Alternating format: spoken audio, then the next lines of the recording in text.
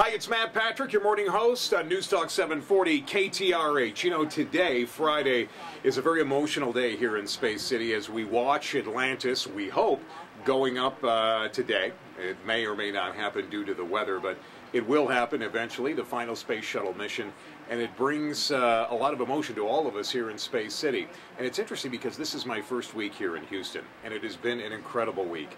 I want to thank you for welcoming me. Even though we have to say goodbye to the Space Shuttle program, I get to say hello to Houston, Texas. And I hope that through the weeks and months and years, you and I will have an opportunity to discuss all kinds of things.